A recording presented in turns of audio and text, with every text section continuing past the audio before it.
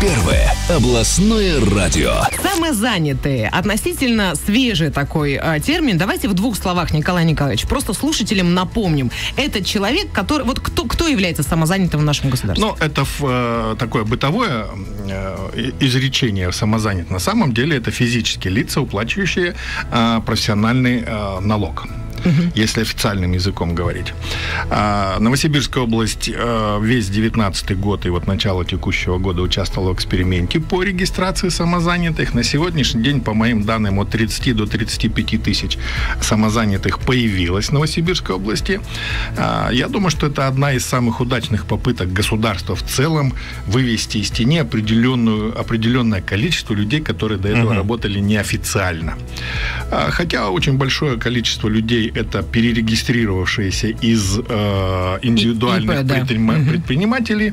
Это, наверное, те, у которых по виду деятельности совпадают и у которых э, доход годовой сопоставим вот с тем ограничителем, который введен для самозанятых, это 2,4 угу. миллиона рублей. То есть получается, что с точки зрения налогообложения гораздо выгоднее вот в их ситуации быть э, самозанятым, да? Но есть еще вторая сторона, вы меня не дослушали. Угу. Вот э, помимо э, налогообложения есть еще одна. Сам сервис регистрации и отчетности и так далее. Это все делается в дистанционном угу. режиме с, с телефона, с компьютера и так далее. Совершенно не обязательно просто, и не да. нужно ходить угу. в налоговую инспекцию ни при регистрации, ни при текущей деятельности, что тоже немаловажно. Ну и, конечно, налог. Если ты работаешь только со своими услугами э, э, с физическими лицами 4%, а если еще и с юридическими, то 6%. Угу. Ну и еще один ограничитель, ты работаешь только один, сам на себя, без наемных работников, это тоже обязательное условие. Так вот, э, эта категория активно начала, а, перерегистрироваться, и какая-то доля, э, э, наверное, из неофициального, так скажем, сектора перешла в эту категорию. Если государство решит еще вопросы для самозанятых, связанных с пенсионным обеспечением Ух ты, и так было далее, бы, да? Хорошо, то я думаю, что это было, было да. бы вообще классно. А и... я думаю, что это где-то в ближайшем будущем. Я думаю, наверняка. что увидев эффект от регистрации, от э, эксперимента, которые сначала были в других территориях, сейчас вот на, э, у нас тоже государство среагирует на эти вещи, тем паче вот и в прессе, и в Госдуме, и там в общественных объединениях это активно обсуждается. Я думаю, что это требует решения. Важный момент, друзья. 913-381-05-54. Самозанятые слушающие в эту секунду радио 54 могут задавать вопросы. Мы сориентируемся и попробуем помочь каждому из вас вот буквально в течение ближайших 15 а, минут. Уточняйте. Обязательно будем э, Николая Николаевича мучить по этому поводу. Так вот, хорошие новости для самозанятых. Оказывается, у самозанятых специалистов появилась возможность получить господдержку. Как это работает? Любой ли самозанятый может обратиться и что он для этого должен сделать? Ну, значит, э, ситуация такова. Наш фонд – это один из инфраструктурных проектов по поддержке субъектов малого предпринимательства. И он существует уже 11 год. И мы за эти годы выдали э, микрозаймов, вот буквально недавно, буквально днями на 4 миллиарда рублей суммарно за эти годы, почти 3,5 тысячи субъектов малого предпринимательства, а самозанятые появились вот только с ноября да, в, да, в да. нашем угу. портфеле. Они приравнены по мерам получения поддержки к субъектам малого и среднего Я прошу прощения, давайте сразу вот э, обозначим э, объем суммы, то есть вот э, что, я, что я сейчас все расскажу. Да? да? Прекрасно. Вот у нас для субъектов малого предпринимательства на сегодняшний день, ну, морковка такая, до 5 миллионов рублей на срок до двух лет под ставку Центробанка 4,25. 4,25. Угу. Сегодня, кстати, заседание Совета Центробанка либо останется, либо э, будет изменено. Ну, вроде И... как снизить обещают, да? До 4%. Весьма осторожно, но тем не менее. Если снизит, мы э, с понедельника начнем работать по этой ставке. А теперь по самозанятым. Значит, по самозанятым, исходя из их годового объема в 2,4 миллиона рублей, исходя из того, что он работает один, исходя из ряда других вещей, мы приняли э, решение на территории Новосибирской области ограничить э, сумму займа двумя стами тысячами рублей. Этого достаточно для того, чтобы пополнить оборотные средства, либо же прикупить инструментарий и так далее. Мы анализировали, хотя точных цифр нет. У нас есть некие выкладки из налоговой инспекции, где на наиболее большее количество зарегистрировалось самозанятых. Это грузовые э, различные перевозки, uh-huh. это строительство, это а, различные виды торговли собственным продуктом, ну и так дальше по другим отраслям. Поэтому я думаю, что для строительства... Ну просто странно получается, вроде называетесь фонд микрофинансирования, а сумма-то для самозанятого весьма такая приличная, 200 тысяч. 200 тысяч? Ну, это для... Э, Мы же не говорим сейчас про производство, а... Ну, вот давайте так, я вернусь. Все-таки у нас основной э, контингент – это субъекты малого предпринимательства. Да. Это индивидуальные угу. предприниматели и юридические лица. А таковых в области порядка там 140 тысяч э, единиц. И у нас берут как на оборотное средство, так и на инвестиции в том числе. Uh-huh. А, кто-то берет 100 э, тысяч, кто-то 200, кто-то 500, а кто-то берет и 4-5. Хотя с точки зрения развития бизнеса, конечно, это суммы маленькие. Конечно, ну, основной понятно, кредитный да. продукт это коммерческие банки. Кому-то uh-huh. надо и 10, и 20, и 30. Это уже работа с банками. Но когда создавались наши фонды, одной из задач было как раз научить предпринимательство зарождающееся элементарной работе с заемными ресурсами. Вот пришел к нам, взял 100 тысяч, поработал, вернул там, взял побольше и так далее. А когда ты вырос, подрос и так дальше, пожалуйста, иди в банк, у тебя уже есть опыт работы с заемными ресурсами, с микрофинансовой организацией организации. А как вот понять самозанятому, к примеру, ему нужно вот, вот такая же сумма, там около 200 тысяч, почему не в банк, а к вам? Больше шансов получить? А, ну, есть ряд, есть ряд преимуществ, которые мы должны, которых мы должны искать. Фонд э, регулируется государством, так как работает, э, создан на деньги государства и регулируется. Нас регулирует э, Центробанк в части ставки, нас регулирует правительство в части срока выдачи и продолжительности на какой э, срока и объема выдачи. Перед нами не стоит задача, как перед коммерческими банками, зарабатывать максимальную прибыль, да. Прибыль.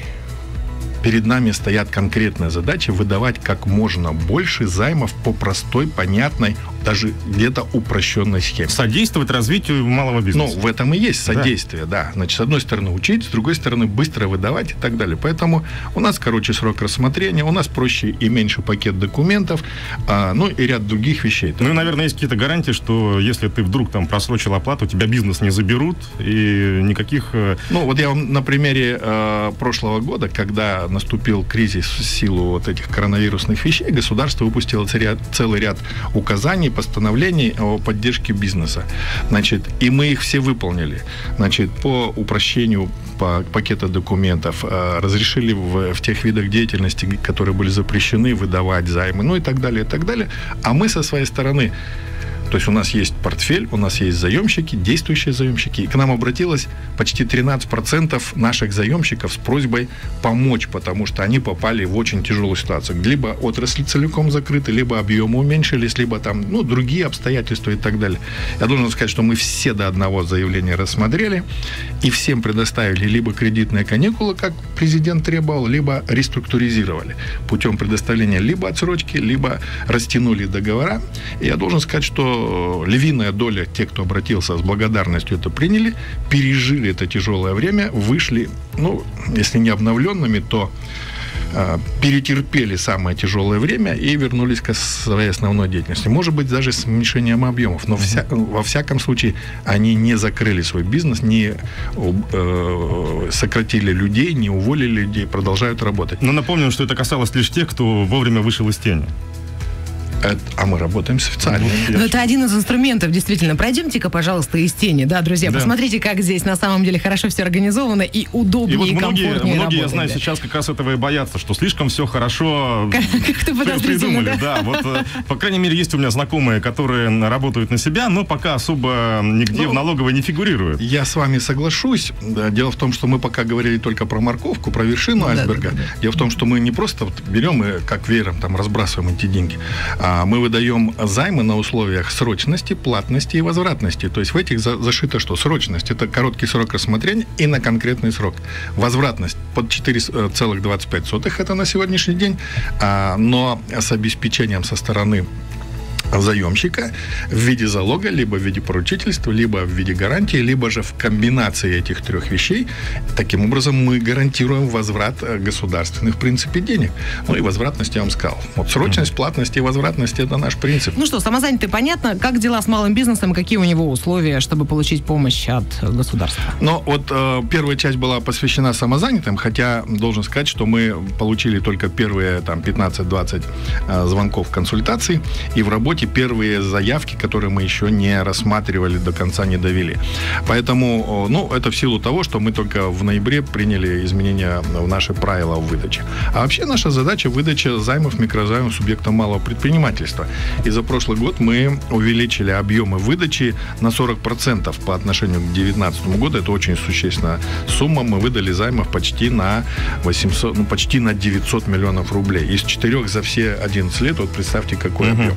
Но э, суть-то моего сегодняшнего появления сказать всем субъектам малого предпринимательства, руководителям, менеджерам о том, что у фонда есть достаточно ресурсов с тем, чтобы продолжить работу в таком же темпе. Мы готовы к увеличению процентов на 30 э, объема выдачи займов и в текущем году. У нас для этого есть а. финансовый ресурс, б. обученные кадры, в. Э, организационная, информационная и всяческая э, структура, ну, руководство. Да. А, и мы готовы обрабатывать большее количество количество заявок по отношению к тому, что есть. То есть двигаться в том, в том же темпе. И вы интереснее, чем банки, потому что... Значит, э, я бы не стал сравнивать нас угу. с банками. То есть те, кому нужно те, кому нужны деньги, буду сравнивать. В этих пределах, угу. в, на этих условиях, это наши клиенты. Но параллельно э, они могут работать и с коммерческими банками, потому что кого-то не устраивает наша сумма, кого-то не устраивает наш срок, э, или наоборот. А с другой стороны, мы работаем, ну, или пересекаемся с банками. У нас есть продукт, когда мы за счет своих займов можем реструктуризировать коммерческий банк. Если остаток в коммерческом банке меньше 5 миллионов рублей, а ставка там за 10 и выше и так далее, то наши 4,25 угу. а, это существенная экономия для того, чтобы закрыть то есть, нашими деньгами а, остаток займа в коммерческом банке и сэкономить и на уплате процент, процентов. Да. Получается, что это тоже деньги в развитие вкладываются. Ну, безусловно. Счету, да? Ты экономишь на уплате процентов, оставляешь их для собственного развития, либо для оборотных средств. Самое главное, что сделать теперь, к примеру, э, самозанятому или представителю малого бизнеса, как обратиться, как работают ваши каналы? Где вас поискать? А, да, у вас горячий, телефон горячей линии, Значит, сайт, где э, принимаются заявки? У нас есть собственный сайт. Мы, кстати, его модернизировали, буквально вчера запустили в работу новый сайт. Он более информационный. Там, кстати, указаны все наши партнеры, а их почти три с половиной десятка. То есть к нам можно попасть через А. Администрации э, муниципальных образований, районов, области, городов. Если вы видите найдете там раздел поддержки малого предпринимательства, то оттуда попадете к нам на сайт. У нас э, среди партнеров порядка трех десятков общественных объединений по интересам, по профилю деятельности, инфраструктурных проектов, откуда тоже к нам можно попасть. Это бизнес-инкубатор, это технопарки, это промышленные парки, это профессиональное объединение дорожников, транспортников, э, шеф-поваров там и так далее, и так далее. Значит, ну и у нас есть собственный сайт и собственные соцсети. Вот везде мы просим себя рассказываем и показываем.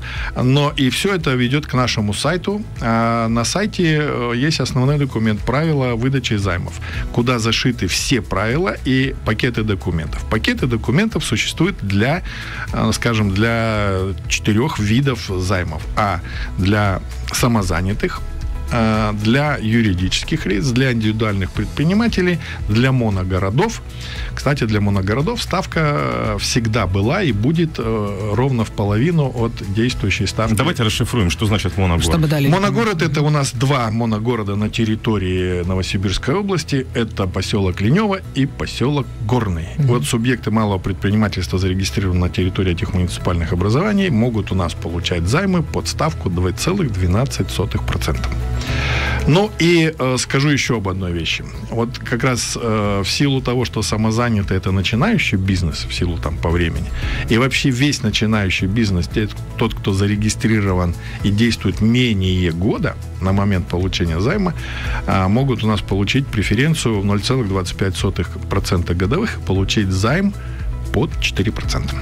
Такие дела, друзья. Вот вопрос, кстати, пришел на эфир на WhatsApp. Не уверена, что сможем ответить, но попробуем. Может ли самозанятый получить лицензию на перевозку пассажиров без оформления ИП?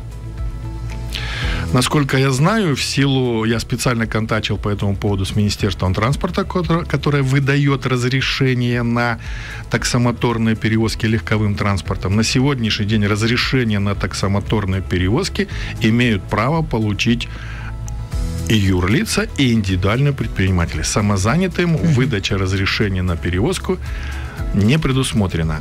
А раз так, то тот, кто занимается этой деятельностью, видимо, действует нелегально. Угу. Такие дела, друзья. Итак, все подробности на сайте э, Фонда микрофинансирования Новосибирской области, ссылки э, и наша, буд- наша встреча в видео э, формате совсем скоро Давайте окажется в группе ВКонтакте. Линии, да, телефон, конечно, обязательно. 209 13 33 это наш общий телефон. По нему э, можно получить любые консультации, э, в том числе и по подаче заявки, и по любым интересующим вопросам. Итак, 209 13 33. Первое областное радио.